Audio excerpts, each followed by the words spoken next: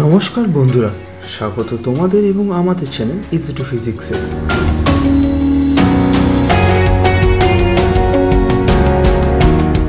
আজকে আমরা যে বিষয়টা নিয়ে আলোচনা করব, সেটা হলো কলেজের ফাইনাল সেমিস্টার হবে কি না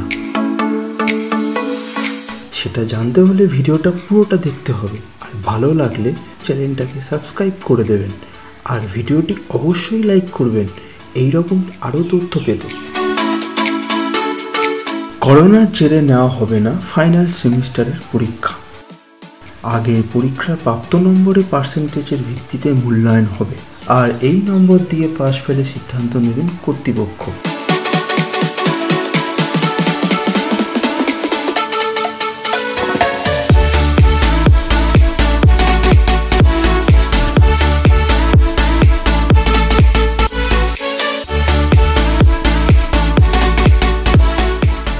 কারণ ইতিমধ্যে তাদের পরীক্ষার সময় পেরিয়ে গেছে।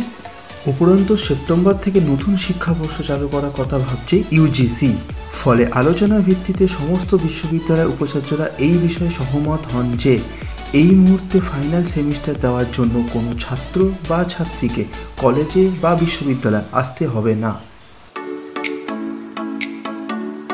সেক্ষেত্রে কীভাবে হবে এই মূল্যায়ন?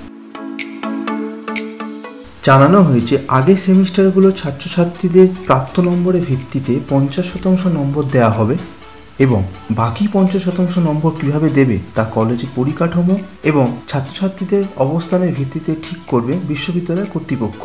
সেটা হোম অ্যাসাইনমেন্ট বা অনলাইন প্রজেক্টের মাধ্যমে হতে পারে।